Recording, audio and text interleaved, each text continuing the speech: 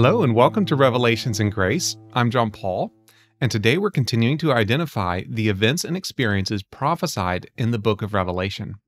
Now, Revelation concerned events that were about to take place soon after the book was written.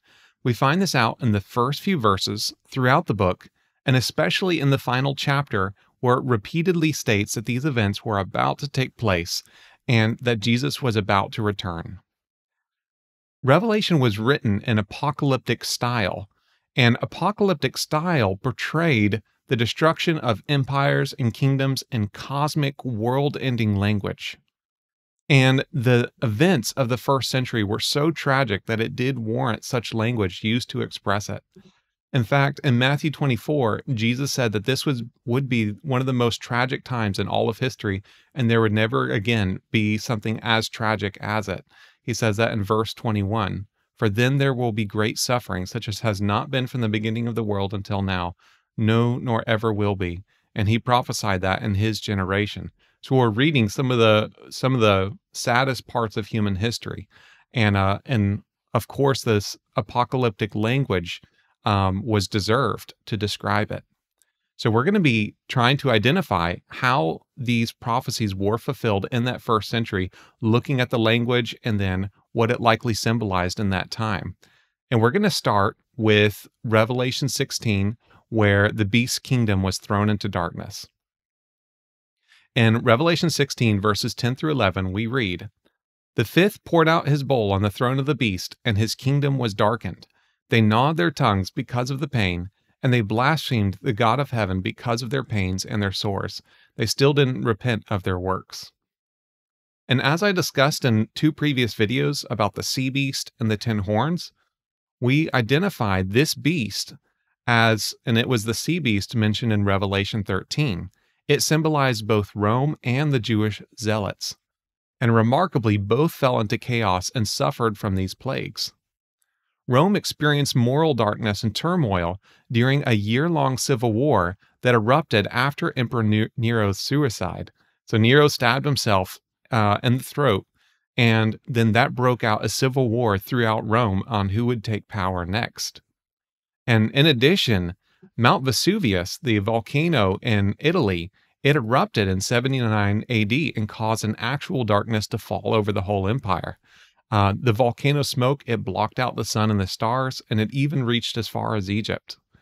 And Rome, after this, faced a devastating plague, which was likely caused by the acid rain from the eruption. Uh, Roman historian Cassius Dio wrote Indeed, the amount of dust taken all together was so great that some of it reached Africa and Syria and Egypt, and it also reached Rome, filling the air overhead and darkening the sun. There, too, no little fear was occasioned. That lasted for several days, since the people did not know and could not imagine what had happened, but like those close at hand, believed that the whole world was being turned upside down, that the sun was disappearing into the earth, and that the earth was being lifted into the sky. These ashes now did the Romans no great harm at the time, though later they brought a terrible pestilence upon them. So the Romans suffered from this pestilence. Their empire was literally darkened. And this is combined with that civil war that took place after Nero's suicide. And most people thought it would be the end of Rome, that that was the final days of the Roman Empire. Now, the Jewish zealots, they also endured dark times during the siege and before the siege of Jerusalem. They divided into three factions. They had three competing false messiahs, and they warred with each other and they destroyed each other's food supplies.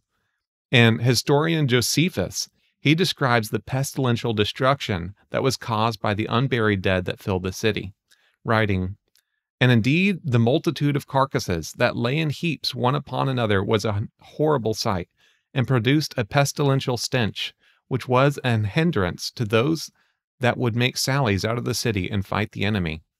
And then in another place he says, For they were come up from all the country to the feast of unleavened bread, and were on a sudden shut up by an army, which at the very first occasioned so great a straitness among them, that there came a pestilential destruction upon them, and soon afterwards such a famine as destroyed them more suddenly.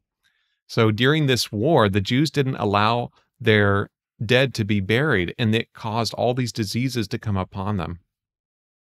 So, just as foretold in Deuteronomy 28, when God lists out the curses for disobedience to the law, this was fulfilled in those plagues.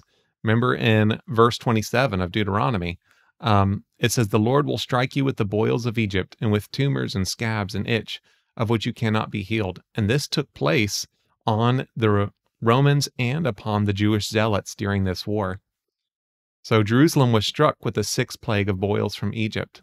And this would also fulfill Revelation 16 2, where it talks about how harmful and painful sores came upon the people who bore the mark of the beast.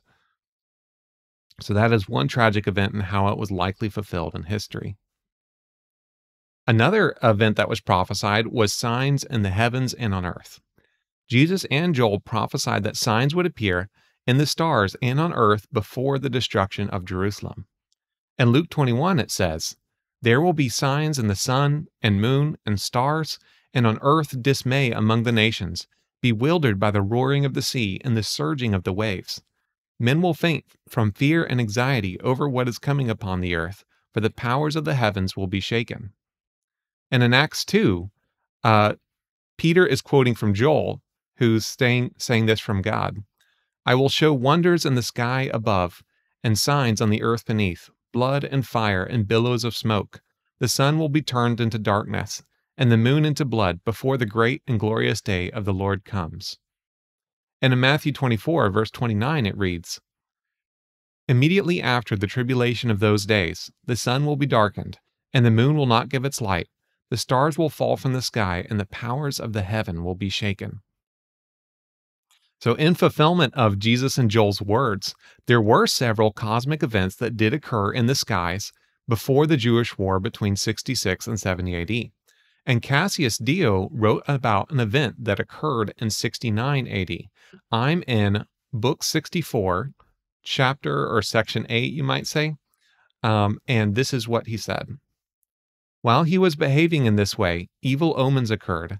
A comet was seen, and the moon, contrary to precedent, appeared to suffer two eclipses, being obscured on the fourth and on the seventh day.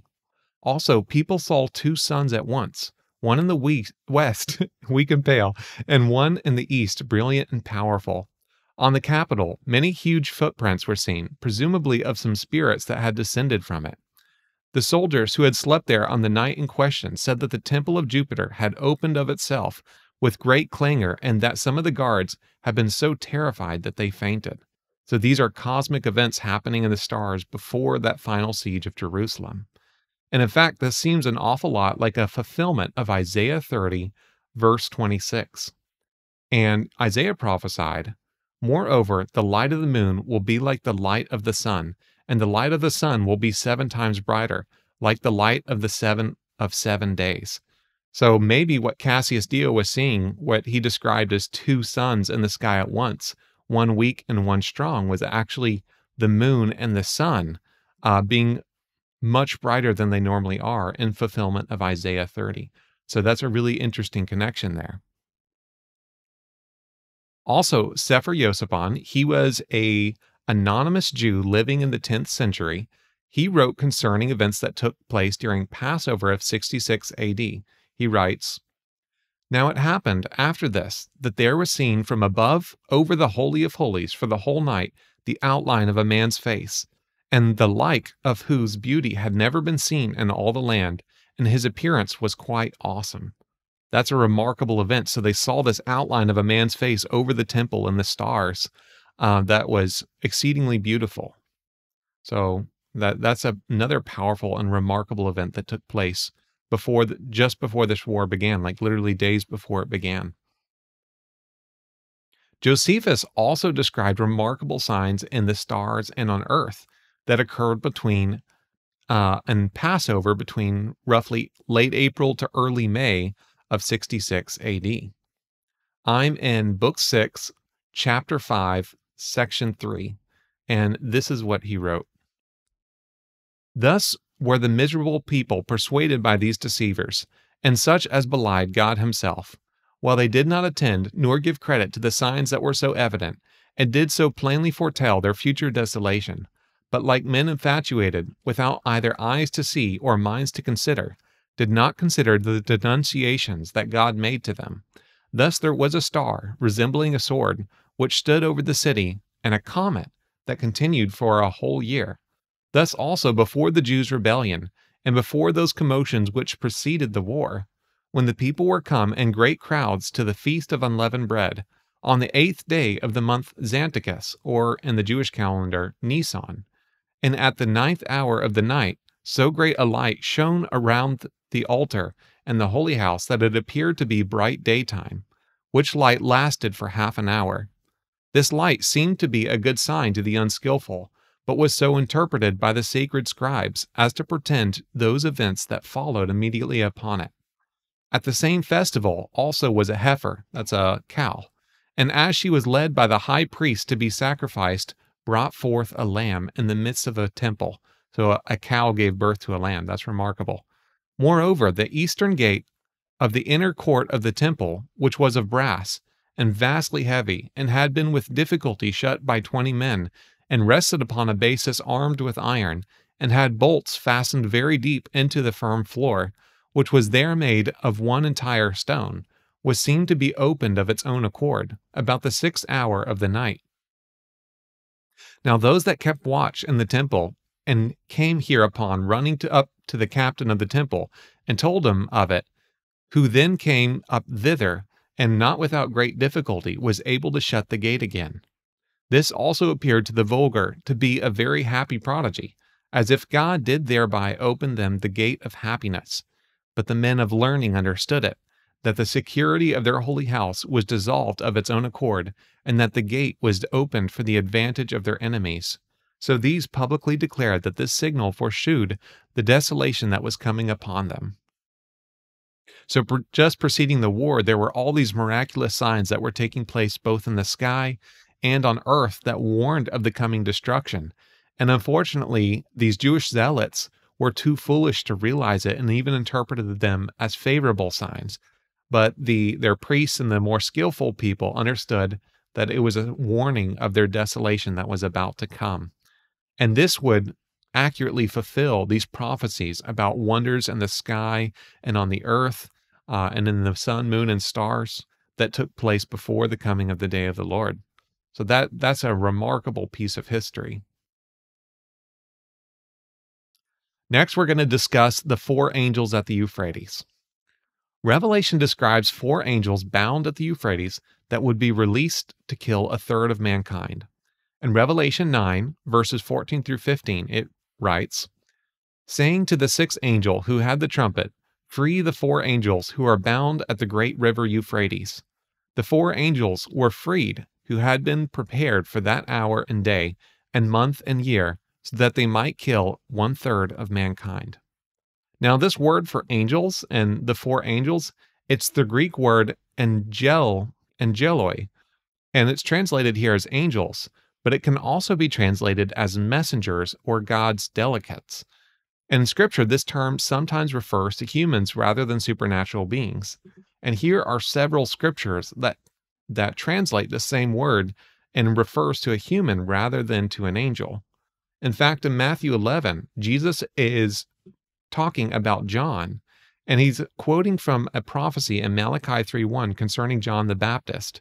And he writes, Behold, I send my messenger before your face, who will prepare your way before you. And if we look at that verse in Bible Hub and we go down to where that word messenger is, it's the word angelon. And that word angelon does mean a messenger or an angel. And sometimes it refers to humans, like John the Baptist, for instance, and other times it does refer to a supernatural messenger of God, like an angel. Um, so it's what I believe is happening here is this sixth angel up here, it's a literal angel, it's actually an angel. And these four angels here were actually humans. Um, and we're going to discuss that here. Um, Daniel Moraes uh, did some fantastic research on this and discovered that these four angels likely represented the generals of the four Roman legions that were uh, stationed at the Euphrates before the Jewish war. And he wrote,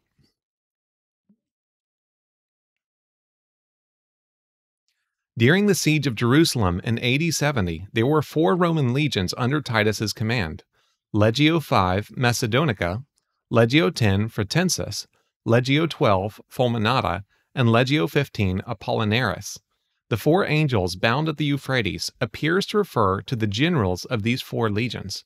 The fact that these four legions are said to be bound at the Euphrates also appears to be an historical Easter egg as Titus's four legions were all bound at the Euphrates just three years before the outbreak of the Jewish revolt.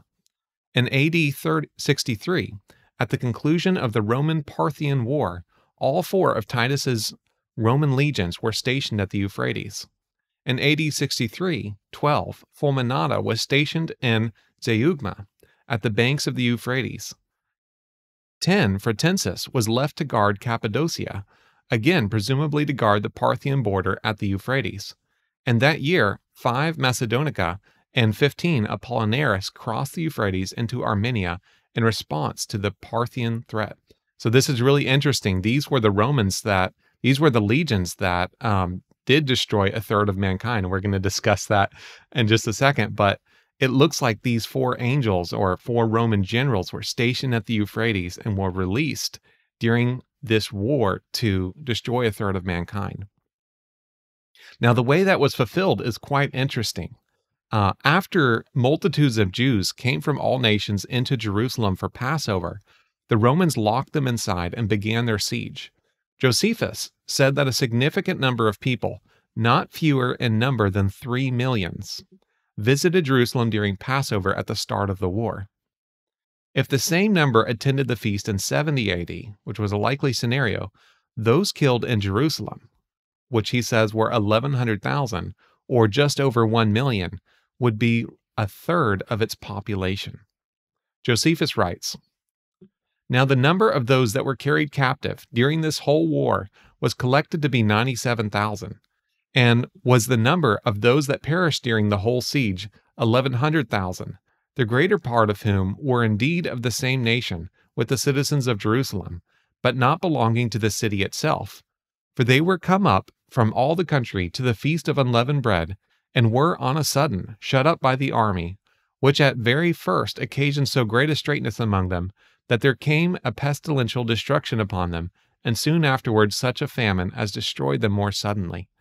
So, roughly three million Jews were attending the feast in Jerusalem during the siege, and roughly 1.1 million of them were killed by the Romans, which would have fulfilled the prophecy that roughly a third of mankind was killed by these four angels at the Euphrates. And of, of course, they were killed by these four Roman legions. So that's a powerful fulfillment of that. And again, apocalyptic language, it describes the destruction of empires and kingdoms in this cosmic world ending language. So you might read it as if it's a third of all mankind on the earth, when really it's describing the destruction of Jerusalem and the kingdom of Jerusalem and, uh, and the kingdom of Israel and how a third of their empire was destroyed. In Revelation 16:21, we also read about great hail, about a talent and weight that comes down out of heaven upon the men. And it says that men blaspheme God on account of the plague of hail, for the plague of it is exceedingly severe. And this is quite fascinating because before the destruction of the temple, this prophecy was fulfilled when the Romans hurled white stones, sometimes mixed with fire, and they weighed up to a talent into Jerusalem. And we can actually see pictures of these rocks here. These are some of the rocks believed to have been cast by the Roman catapults. So they were these gigantic rocks weighing about a talent, and they um, they were raining down and they were white in color. In fact, Josephus describes these in um, book six, I believe. It says, These engines that all the legions had ready prepared for them were admirably contrived, but still more extraordinary ones belonged to the tenth legion, and those that threw darts and those that threw stones were more forcible and larger than the rest, by which they not only repelled the excursions of the Jews, but drove those away that were upon the walls also. Now the stones that were cast were of the weight of a talent, and were carried two furlongs and further. The blow they gave was no way to be sustained, not only by those that first stood in the way, but by those that were beyond them for a great space. As for the Jews, as they at first watched the coming of the stone, for it was a white color, and could therefore not only be perceived by the great noise it made, but could also be seen before it came by its brightness. And Josephus also describes these stones in the Battle of Jotapata and how some of them were on fire. And he describes their destructive power and how they cause these little mini earthquakes. So, this would have nicely fulfilled this prophecy about great hail. We have white stones weighing a talent falling down on Jerusalem, which would have nicely fulfilled this verse in Revelation 16 21. And we can see how, you know, Jerusalem had committed spiritual adultery with God by crucifying their Messiah and following Caesar and worshiping other gods and, and denying Jesus. And you can see that they were stoned for their spiritual adultery against God. That was the punishment God laid out as uh, the curse for disobedience. If someone was caught in adultery, they needed to be stoned. And so Jerusalem was stoned for their spiritual adultery. And we also learned in Revelation that Jerusalem was like Sodom and Gomorrah. And just as Sodom and Gomorrah were destroyed by fire coming down from heaven, some of these rocks on fire destroyed um, Jerusalem in the same manner. So we see how how that was fulfilled in history. So those those are extraordinary events. In Revelation 11:13 it says, "And in that hour there was a great earthquake, and a tenth of the city collapsed. 7,000 were killed in the quake, and the rest were terrified and gave glory to the God of heaven." And there was kind of an earthquake when these stones were falling on the city. They would cause a great shaking of the ground when they hit the ground. Now, um, Daniel Moraes calculated that the temple area was roughly a tenth of the space of the city. You can see his uh his calculate he actually did the math on this and found that this temple area was a tenth of the space of Jerusalem at that time. So in fulfillment of this prophecy, when the temple fell, roughly a tenth of the city was collapsing in fulfillment of this verse. That's really powerful. It also says that 7,000 were killed in the quake at the time this temple fell, and they and the rest were terrified and gave glory to the God in heaven. Well, in August of 70 AD, when the Jewish temple was destroyed, Josephus estimated that around 10,000 Jews were killed. So maybe this was an overestimation. Maybe it was really around 7,000. Um, but these were killed in this quake caused by these stones falling on the city. And, uh, and this temple collapsed. A tenth of the city collapsed. And this would nicely fulfill this prophecy of the sixth trumpet, uh, of a tenth of the city collapsing and the 7,000 dying man, this stuff is really tragic and it's uh, it's difficult to get through. Uh, but it it's also fascinating how Revelation was fulfilled in that first century, and we can be really grateful this uh, this isn't going to happen in our future, and that we're under the new covenant, under God's unconditional grace, simply by trusting in what Jesus did for us. So uh, we can be thankful that we're not under God's wrath anymore, and that's a wonderful thing. It also prophesies in Revelation 16:3 about the sea turning into blood. It says, And the second poured out his bowl into the sea, and it became blood, as of one dead, and every living soul that was in the sea died. And Josephus records a few fulfillments of this verse. In July of 67 AD, he records that the people of Joppa were slaughtered near the Mediterranean Sea, and this is how he describes the scene. But some of them thought that to die by their own swords was lighter than by the sea, and so they killed themselves before they were drowned. Although the greatest part of them were carried by the waves and dashed to pieces against the abrupt part of the rocks, insomuch that the sea was bloody a long way, and the maritime parts were full of dead bodies. For the Romans came upon those that were carried to the shore, and destroyed them, and the number of the bodies that were thus thrown out of the sea was four thousand and two hundred.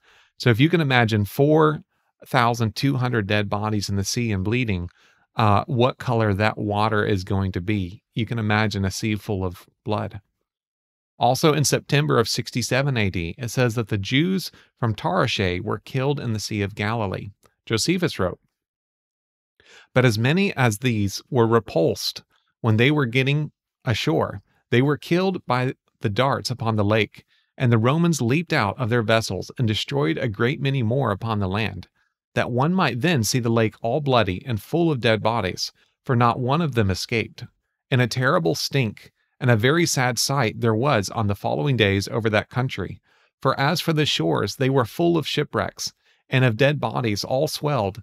And as the dead bodies were inflamed by the sun and putrefied, they corrupted the air, insomuch that the misery was not only the object of commiseration to the Jews, but to those that hated them, and had been the authors of that misery. This was the upshot of the sea fight. The number of the slain, including those that were killed in the city before, was 6,500. So if you can imagine thousands of these dead bodies in the water and and swelling and producing this horrible stench and the lake is full of blood just as Revelation prophesied. And then later on in 79 AD when Mount Vesuvius erupted, Cassius Dio wrote that it destroyed all fish and birds in that area. It says, while this was going on, an inconceivable quantity of ashes was blown out, which covered both sea and land and filled all the air. It wrought much injury of various kinds, as chance befell, to men and farms and cattle, and in particular, it destroyed all fish and birds. So, this is another interesting way in which um, all living souls that were in the sea died when the water was turned to blood. Um, so, such a tragic event.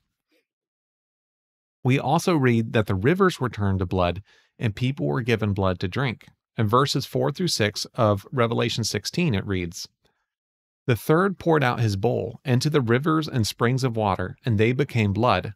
I heard the angel of the water saying, You are righteous, who are and who were, O Holy One, because you have judged these things.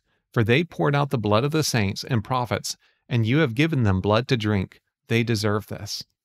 And this was likely fulfilled in February of 68 AD there was a massacre that occurred in the Jordan River, causing it to flow red with blood. And Josephus wrote, And this because not only the whole country through which they fled was filled with slaughter, and the Jordan could not be passed over by reason of the dead bodies that were in it, but because the lake Asphaltitis, the Dead Sea, was also full of dead bodies that were carried down into it by the river. So this the river of Jordan was so full of dead bodies that people literally couldn't cross over the river.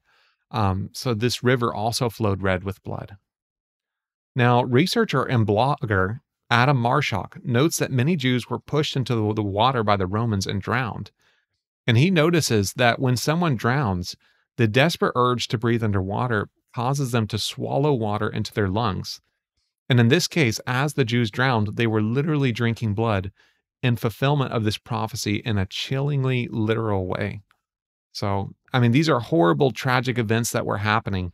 And it's fascinating that we can correlate this history with Revelation and see how they were fulfilled in the first century. But this was a gut wrenching experience to to read and to study. And, and I hope you weren't too distressed by reading this. But in summary, we're just going to go back over what we said briefly and remind you of these things. Um, you know, we learn about the throne of the beast being thrown into darkness. And we that happened at Nero's suicide when the Civil War broke out. And again, when Mount Vesuvius erupted and there were painful sores and boils on the people, an unprecedented plague in Rome. This also happened on the Jewish zealots when they divided into three uh, factions for their three competing messiahs and they burned each other's food supplies and left their dead unburied. And that caused a terrible pestilence to come upon them. Uh, we hear that there was prophesied signs in the sun, moon, and stars. And in history, we find out that there were miraculous celestial events that Josephus, Sefer Yosipon, and Cassius Dio recorded during the Jewish War. Uh, we read in Revelation 9 about four angels at the Euphrates being released to kill a third of mankind. And when we look in history, we find that four Roman generals led these four uh, legions to siege Jerusalem, in which a third of the occupants in that city were destroyed during this war, uh, nicely fulfilling that verse. We read about um, hailstones weighing about a talent falling down on the city, and we find out in history that the Romans cast heavy hailstones about a talent on Jerusalem that were a white color, and that led to the death of thousands. And we find out about a tenth of the city collapsing and that happened when the temple was destroyed, which occupied roughly a tenth of the city. And as it says, 7,000 people were killed. Josephus estimated that roughly 10,000 people were killed, which may have been an overestimation. and would have nicely fulfilled that. We read about the sea and streams turning into blood, and this happened happened in several of the battles where thousands of people were slain in the sea and in the rivers, so that they flowed red with blood and that people couldn't cross over the river, and some of them were drowned in the river by the Romans and and drank in this blood that was that was prophesied. So these these are tragic events and these dramatic historical events warranted this apocalyptic language to describe it um, because it was just so tragic. And it, I believe it accurately fulfills what Jesus wrote in Matthew that it was one of the worst times in history. And there's far more worse things that we didn't cover in this video that happened during that war. But um, but yeah, this is this is one of the ways that Revelation was fulfilled during that time. So uh, I ask that you study and you pray about the things I share, and that you do your own research on this. And uh, I hope you've appreciated this video. And if you have, let me know. And uh, in the next video, I hope to discuss who Gog and Magog were and identify those characters in the first century. So thank you for listening, and I hope you have a great day.